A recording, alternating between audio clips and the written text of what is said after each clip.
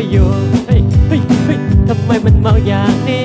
อย่างนี้อย่างนี้โดนไปสักสองสามทีโคตรดีรู้เรื่องเลยทำไมมันเมาอย่างนั้นอย่างนั้นอย่างนั้นมันเป็นเพราะควันใช่ไหมโอ้โหจะว่ามันช่างถูกใจทำไมมันเป็นอย่างนี้เก็บทรงไม่ค่อยอยู่